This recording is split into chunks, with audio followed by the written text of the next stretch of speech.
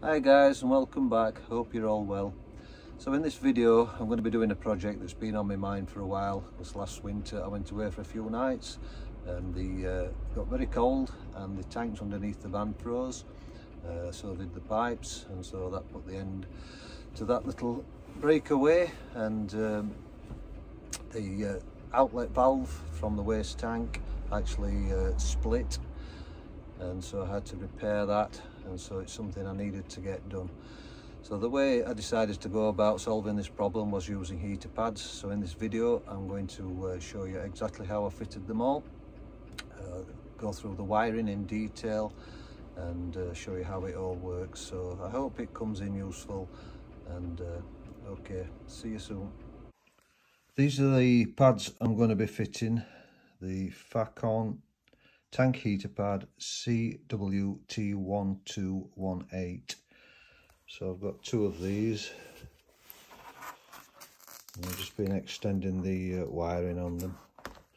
So they come with this uh, peel off backing. So this is the sticky side that goes onto the underside of the tank.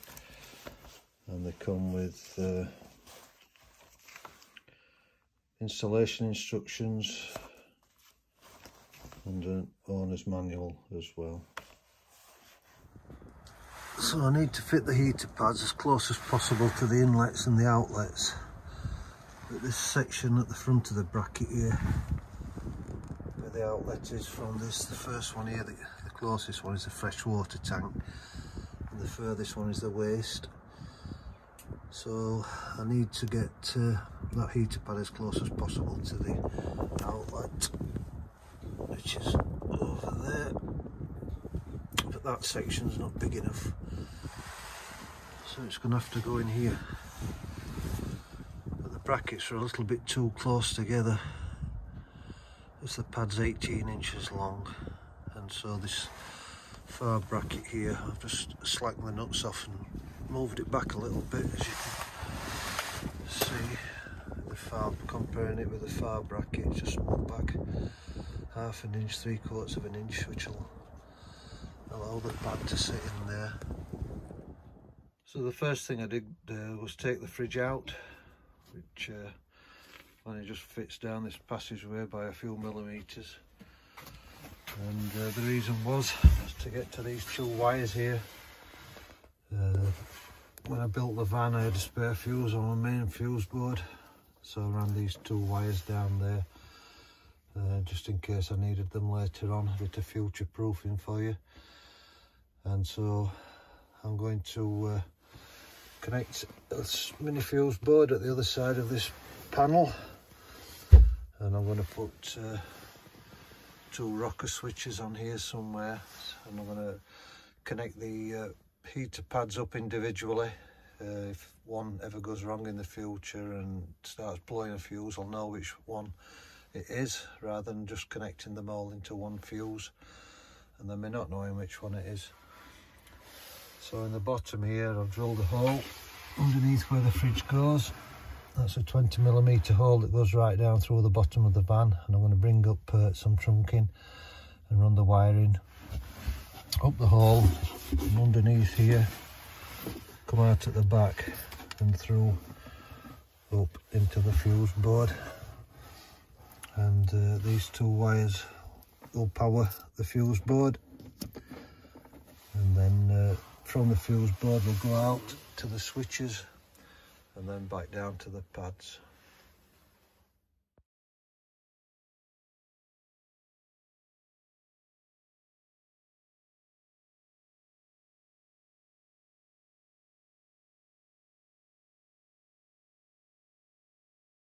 So I've been fortunate enough to uh, be able to lend somebody's pit in their uh, service station, their garage. It's going to make this job so much easier and uh, it's a Sunday, it's absolutely freezing, it's December, but it's a little bit warmer inside here. So I'm going to get cracking. So the first thing I did was clean the tanks with some rubbing alcohol and a rag.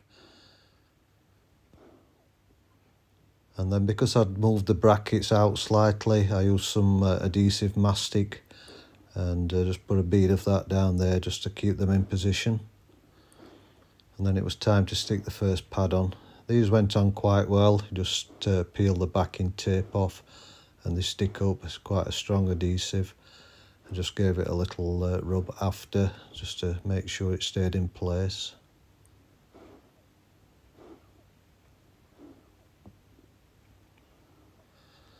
and uh, I also decided to insulate the tanks. So to do this I used some of the double bubble wrap the stuff that you would use for making the vapor barrier when you're building your van and also using the high temperature adhesive that you would use when you were doing your carpeting. So it was a bit of a nightmare the uh, it was like wrapping a huge christmas present but uh, there were so many things in the way. The uh, the beams, the uh, cross members underneath the van were in the way. The pipes coming out of the tanks, and all these things. So it was a bit of a struggle and took a lot longer than I thought.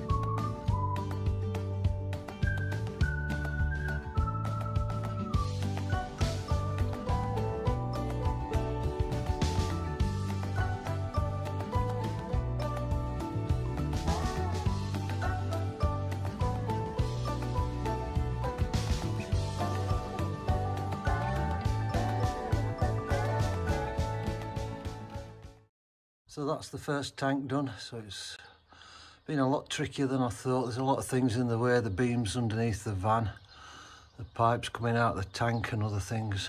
But uh, I've got most of it. Cable tied it as well. There's some extra long cable ties.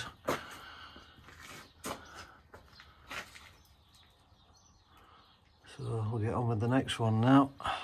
So that's the second one done.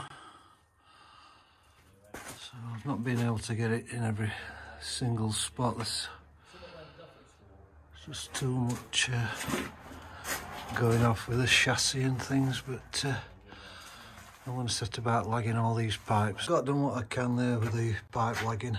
I can't get to every little bit of it. This one up there is from the kitchen sink, but I can't get up there. I've tried. I've got round this way and this is the filling point and exit point for the wastewater. It's all lagged. So I think I'm going to put some black underseal paint on uh, on the tanks so it'll not uh, resemble the uh, space station anymore.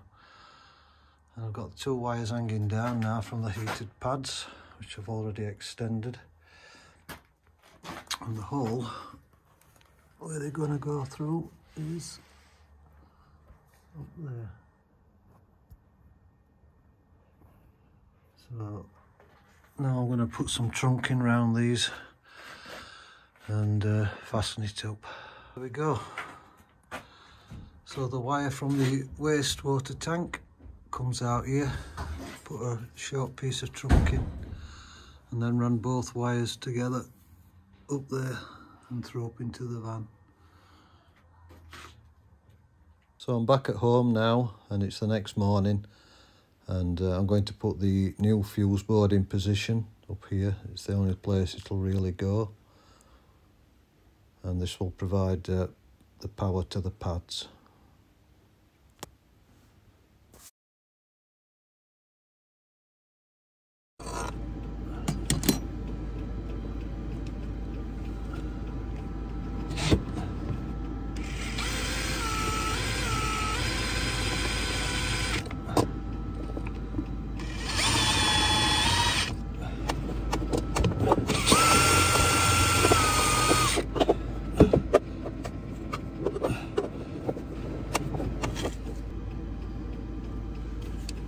Here I'm drilling two holes, one at the top of the uh, new fuse board and one at the bottom. These are for the 6mm cables to come through and connect onto the main terminals of the new fuse board.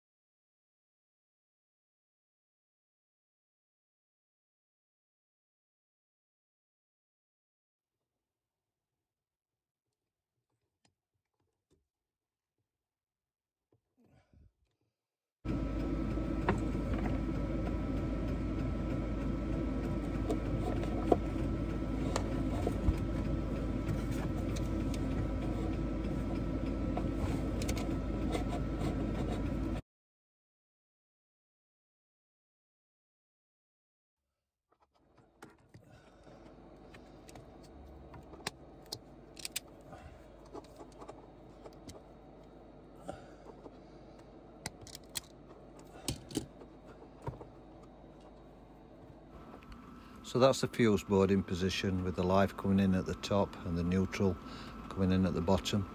So now I'm going to go around to where we fed the cables through the bottom of the van yesterday and get them through into position. So you can see the trunking coming up into the van with the two wires coming out and I'm going to feed those two wires now underneath this boarding up the back and through into here. So I've got the wires through now under the board around the back and through into here. And uh, I've cut two holes in this panel using the multi-tool and fed the wires through there. And I'm going to uh, connect all these wires up to uh, these rocker switches. They're the three prong type. And these are going to turn the tanks on and off. So uh, when I was in the pit yesterday, I put a bit of tape around this wire uh, so that I knew which one was which, and this is the one that feeds the freshwater tank. So now I'm going to run some wires through from the new fuse board and through these holes and then uh, we can connect up to the rocker switches. So that's that wired up and I've just put a fuse, a 10 amp fuse in the new little uh, fuse board we've fitted. So the top connection is the live coming from uh, the new fuse board. The centre connection is a switch live going out and the two neutrals are joined together. So power down to the pad now hopefully and that should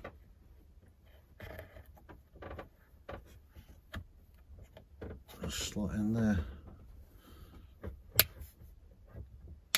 excellent. So I'll do the next one now. So that's it, they're both in. I'll get them labelled up properly so I know which one's which. So we've got two working switches. One for fresh uh, water tank and one for the wastewater tank. So just to recap on the wiring. From the main fuse board, this wire here, it's a six millimeter cable and uh, comes out, the neutral's down here. That wire runs along here and up into the new fuse board. So that powers the new fuse board.